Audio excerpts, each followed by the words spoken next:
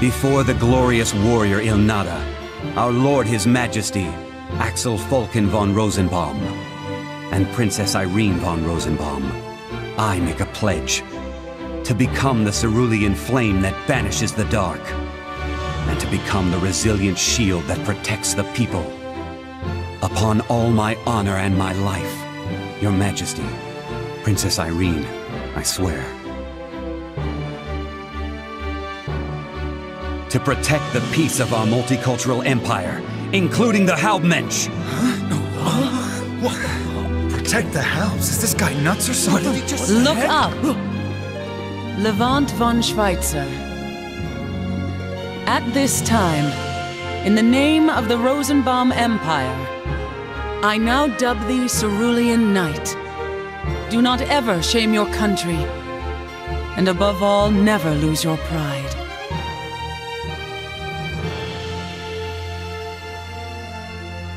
And thus, I became an Imperial Knight of Rosenbaum. I was prepared to do everything to realize His Majesty's dream.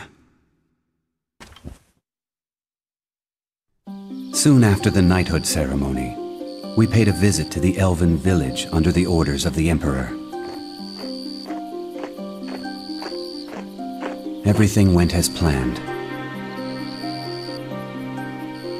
His Majesty formed a pact with the elven patriarch Semnul, and the engagement of the Emperor and Nachul was made official.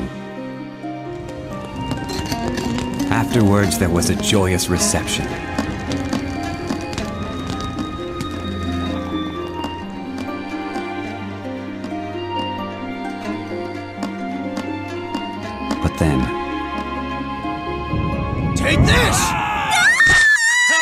Those bastards!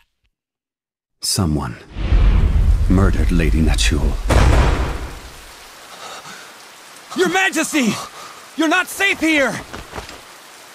We must leave now! Your Majesty! Why?